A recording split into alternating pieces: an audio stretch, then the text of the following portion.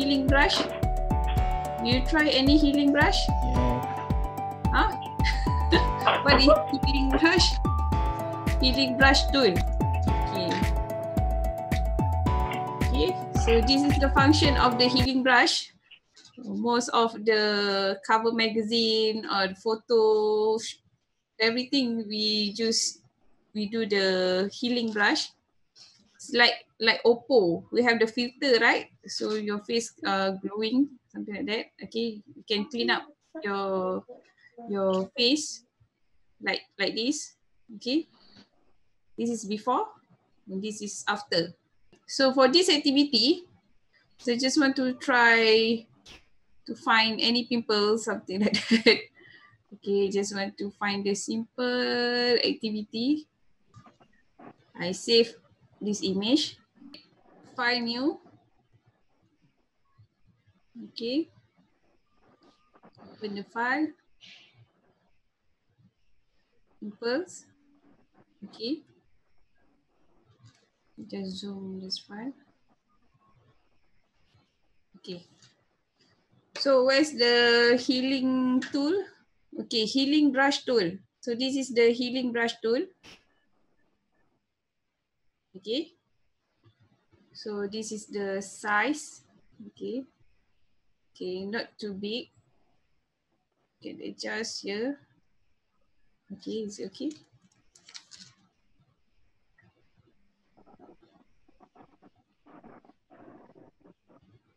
Okay, just nice.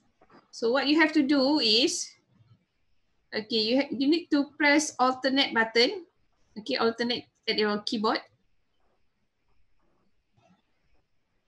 Okay, press alternate, then you can you see?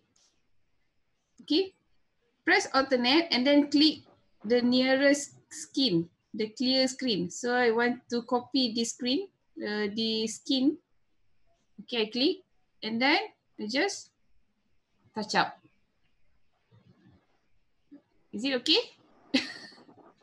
Can you follow me? Wow. Okay, again. Okay. Uh, again. Powernya. Again.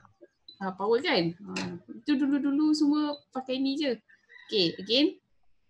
Uh, press alternate. Okay, so what happened? What happened if I press alternate and just I copy this one? What happened? And then actually I just add another one pimples. Okay, so that is wrong. That is wrong. So what you have to do is alternate, go to the clear screen, and then ah, like that. Okay, alternate, and then touch up. Okay, alternate, then touch up.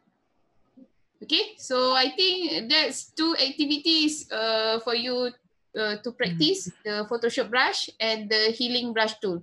So I think uh, that's all for today. So I will give you every week activity lab exercise so you can try and practice until you you can do better. Uh, so you are still at the beginner level. So after this you can be uh, maybe intermediate level or master level. I don't know. Okay. You must keep practice every week. Uh, hopefully every day. but if you can at least uh, two times per week. Okay. Alright, enjoy your study, your online class all for today. So I hope you can try this activity. Okay.